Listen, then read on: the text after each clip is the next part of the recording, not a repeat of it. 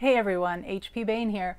It's been a while since I've updated you via YouTube. It seemed like a good time to do that with Halloween coming up, so I wanted to give you a little bit of a rundown on where things have been going in the last few months.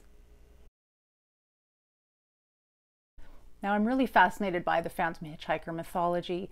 You see this quite often on a lot of uh, kind of spooky shows, and I, I kind of wanted to do a take on that. So this story focuses on the ghost of a woman who haunts a road that leads to a ghost town that's not far from the city.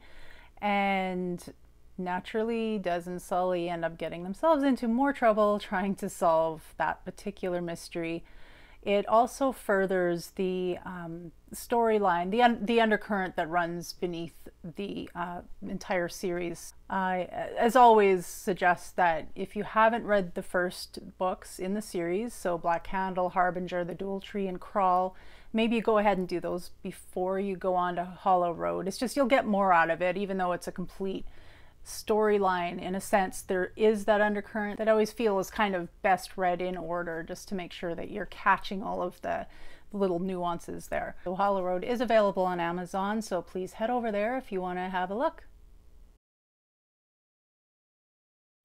New release, you guys, coming up on Halloween. There's another book coming out. This will be book six in the series.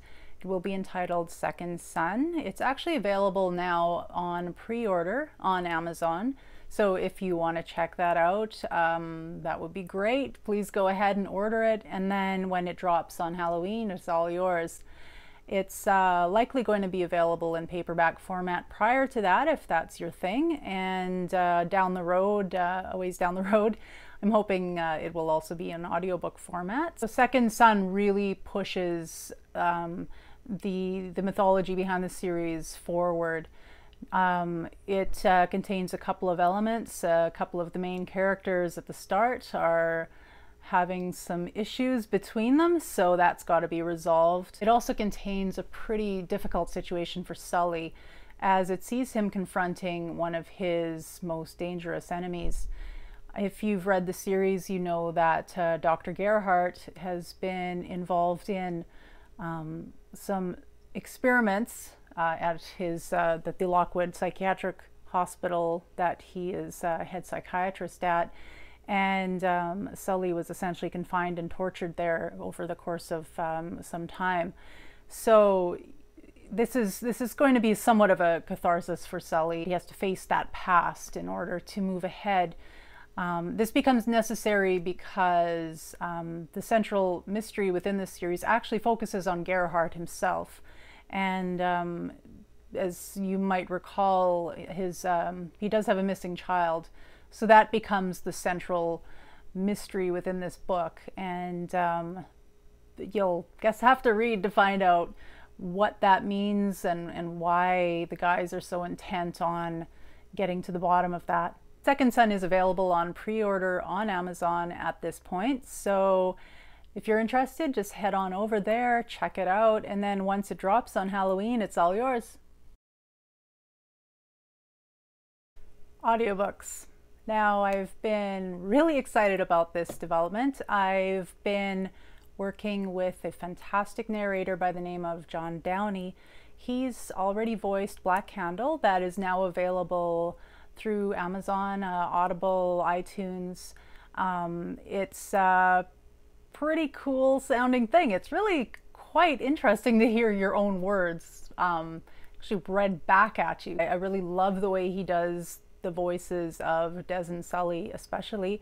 And I've had some pretty good feedback on it so far. So if you want to check that out, scoot over to Amazon or Audible or iTunes, give that a look. He's also voiced Harbinger, that should be coming out in the next few days, I would hope. And um, so that's, uh, that's another great sounding book. Um, he is now actually voicing The Dule Tree, so that will be the next one coming out. I know I've been listening to a lot more audiobooks lately, and I really love the way that it really brings a story to life. It's it's uh, also helps break up really long car drives, so that's great. Um, but yeah, it's it's um, just a lot of fun. It's almost like kind of being at a movie, a little movie going on in your head in a way. So definitely pop over to Amazon Audible, iTunes, check those out if you're into audiobooks.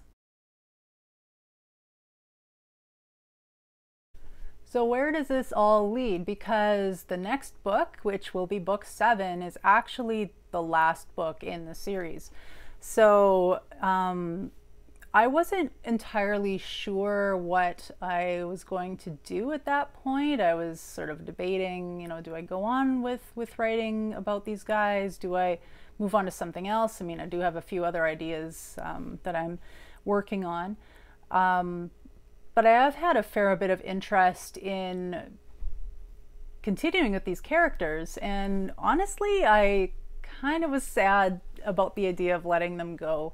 So, what I've decided to do is write a series of books that will be entitled The um, Braddock and Gray Case Files. So, what these will be are standalone mysteries, so there won't be this kind of larger undercurrent that you get in the Sullivan Gray series, uh, something that carries through in that same way, I think, from book to book. The way I'm envisioning it is you'll be able to just pick up each book and just read it, and it won't matter which one you do first. So um, that's the plan at this point. So I'd love to hear your thoughts on that. Would you like to see more Dez and Sully? Let me know.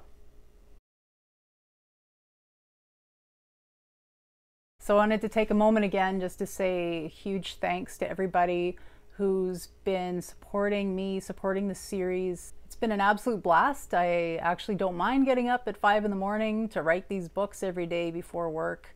So grateful to everybody who has picked these books up, everybody who has commented um, on Facebook or through email or, or in some other way.